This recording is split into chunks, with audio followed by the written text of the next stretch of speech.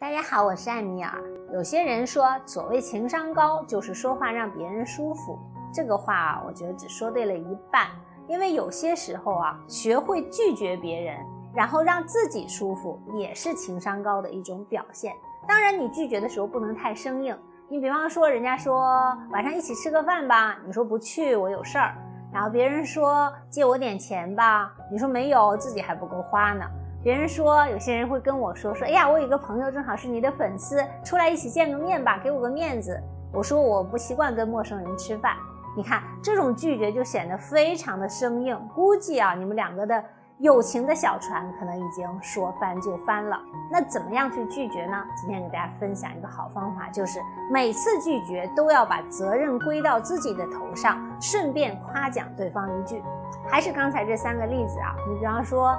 呃，同事跟你说晚上一起吃饭吧，那你怎么说呢？你说，哎呀，我也好想跟你们一起去吃饭呢，可是我今天晚上还要录制视频。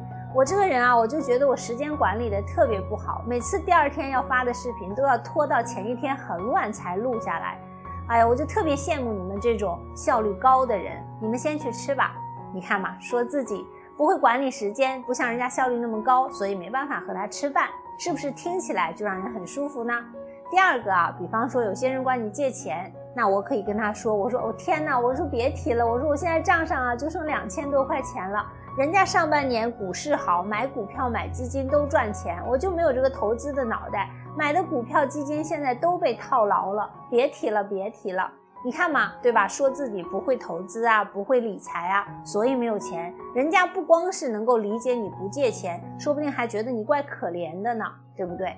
第三个，比方说有人说，哎，我的一个朋友是你的粉丝啊，要跟你一起吃饭，那我可能就会跟他说，我说我呀，我跟你说，我跟陌生人真的不会打交道。你看着我在镜头前侃侃而谈，但实际上我见了陌生人不知道说什么，然后就一直沉默，就很尴尬，很冷场。人家就会觉得你是个很高冷的人，你肯定特别看不起我。我说反而啊，让人家心里很不舒服。我要去了啊，让你也会很没面子呢。我说我可羡慕你们这种就是与人交往啊，又会说话又八面玲珑的人了。要不然下次人多了，咱们一起去唱歌，这样的话我就不用多说话了。你看嘛，把自己的这种弱势，把自己的这种责任都承担起来，然后再夸对方一句，这种拒绝别人听着是不是舒服很多呢？如果大家喜欢我这段内容，欢迎大家点赞、收藏、分享、转发。有什么话在下面给我留言。